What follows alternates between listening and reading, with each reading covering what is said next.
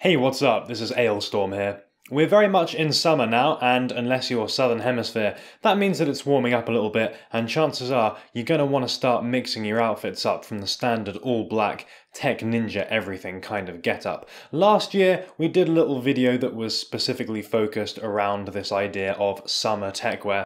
But this time I want to be a little bit more specific and look at the idea of shorts and how you can mix those into techwear outfits. So I've got three different pairs with three different looks and we're going to put together three totally different outfits with those. So I've got a pair from Guerrilla Group and Outlier, thanks to those guys for sending those to help me make this video, and I've got a pair from Y3 that I picked up last year too. And with these three outfits I feel like there's three main focuses, one on utility, one on material performance and wear and one purely on aesthetics and originality. So with that in mind, let's take a look. The first style that I want to look at is based on the Guerrilla Group shorts, the PS01 shorts in black. I opted for these because I feel like in many ways, they're like the short equivalent to a pair of techwear cargo pants. They're very pocket heavy, they're very utilitarian in design, and yet with a much more modern, slimmer cut than what you would find in your dad's favourite cargo shorts. The material is pretty thick and pretty heavy duty too, so those things together made me want to use these to put together an outfit that is very much more utility focused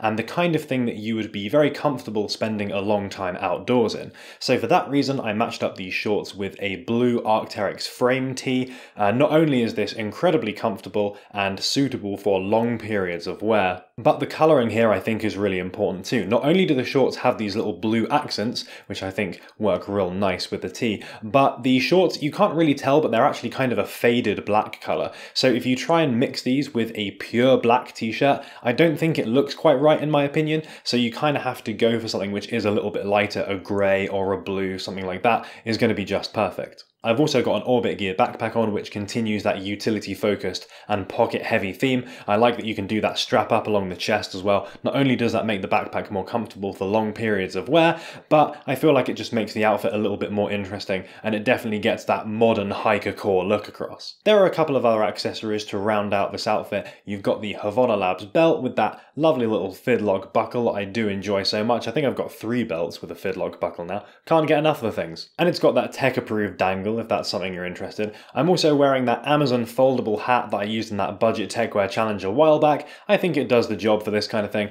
and a pair of sunglasses as well, just to say, come on, I'm ready for all kinds of summer-based weather. On feet I opted for the CDG Moabs because of that hiking reference in their design, but there's a whole bunch of options that you could pick here, and in fact probably more appropriate ones than these to be honest, because these do have a little bit of a delicate aspect to them, and I feel like something that's real heavy duty, going to be suitable for long periods of wear is going to be perfect here. Anything from the ACG line, for example, I think is going to go really nicely. There are some Adidas hiking focused shoes as well, some sneaker boot type things, which again are going to be perfect. To mix an outfit like this up, you could chuck on some kind of cool retro anorak, I think that would work very nicely with the shorts, or if you need a little bit more warmth, you could easily go for some kind of heavy duty, oversized hoodie, maybe something like Cav Empt for example. I think because the shorts do have that little bit of bulk to them, and that material is pretty thick, pretty hard wearing, you have a little bit of flexibility with wearing something a little bit heavier, and a little bit more present on the top half, rather than just restricting yourself to the shorts and t-shirt combo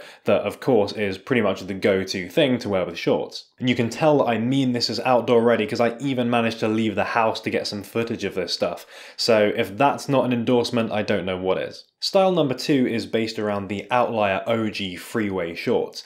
These, in typical outlier fashion, might look unremarkable, but there's a lot of important details that you can't really see. Not only do these fit very well and are very flattering and comfortable, but they're made from Schoeller Dryskin Extreme, which is really, really stretchy, really nice to wear, and they're also DWR treated as well. So like the Guerrilla Group shorts, they will have some water resistance, although I feel like are much more comfortable than those ones are. Further to that, the pocket lining is not a solid material, it's actually an extremely dense mesh. So although for all intents and purposes for normal use, they just feel like normal comfy pockets, if you want to, you can use these to go swimming in. So low key performance, very much the theme of this outfit, and a pair of shorts that really are a do it all thing, something that you can pretty much just put on in all conditions and you're not going to run into any problems. To continue the theme of that outfit, I've paired this up with the Outlier Ramielust t-shirt. This is the white version, although it really comes in a slightly kind of natural white, a bit of an off-white colour. It's very lightweight, it's got a very open weave, which means for warmer temperatures, this one's going to be perfect. And in case you hadn't noticed, this outfit isn't so much about looking like a tech ninja,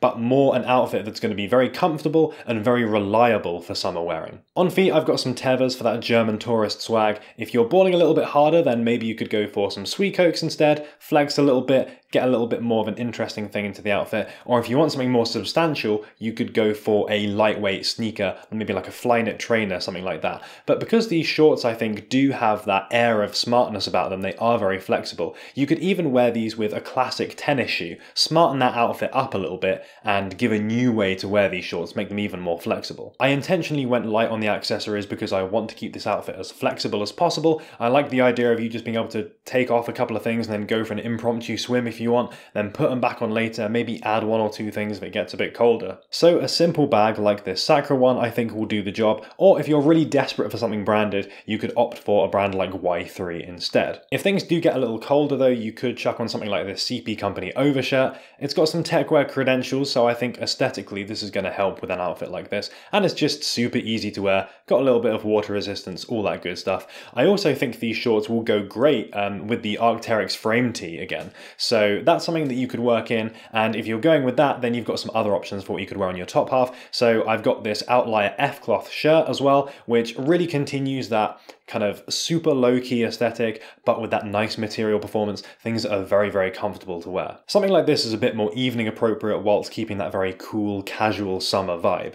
All in all, I think these shorts are an extremely flexible, versatile choice, something that you can do all kinds of different things with. And you don't really have to worry too much about what to pair with them because they're just comfy, they're low key, you can let the rest of the outfit do the talking if you want to, but also just keep everything else fairly plain as well and just have that nice quiet material performance. That approach is great when you're looking for high performance clothing, where your number one concern is staying cool and dry in very hot weather. But maybe that's a little bit low key for you. Maybe you want something a little bit more unique or a bit more exciting. And that's why the third outfit is based on these Y3 Sarouel shorts. Now, generally, I don't recommend buying Y3 at full price, but I did make an exception for these shorts because I think the cut of them is very, very unique. And when I picked them up last year, they were exactly what I was looking for at the time. They're just cotton, which gives them a moderate amount of comfort, no real performance aspect as such, but the wide leg opening and the drop crotch makes these super comfy and nice and breezy to walk around and just spend the day in. I like these shorts, they're comfy and easy to wear. But the theme that I really wanted to go for with this outfit was using extended silhouettes